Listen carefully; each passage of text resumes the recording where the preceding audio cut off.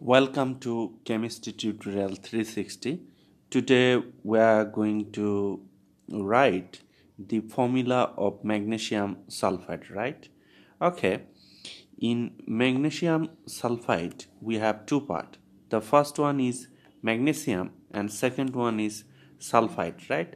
So the symbol of magnesium is like this and the symbol of sulfur is like this, right? Okay magnesium is a metal so it will release electron right?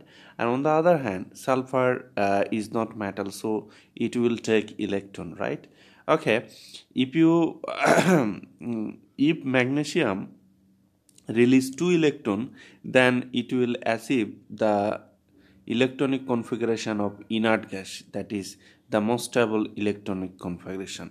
You know that uh, magnesium uh, is the element of group 2 that's why it will release just two electrons. So magnesium will be 2 plus here.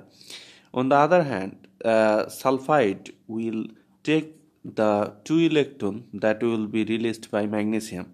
That is why sulfide will be 2 minus right?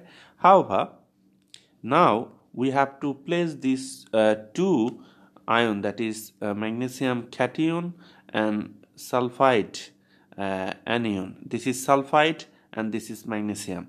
However so if you uh, if now you have to balance the charge right?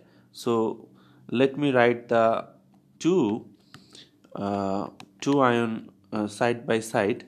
Here we have 2 plus here we have 2 minus. So these 2 plus will cancel out these 2 minus.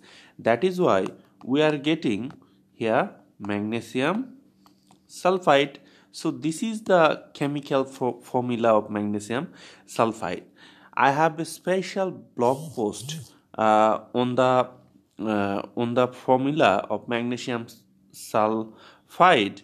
You will get that blog post in the description box of this video. I hope uh, you will read that blog post and I, I think you will get more value so thank you for viewing this video. Be well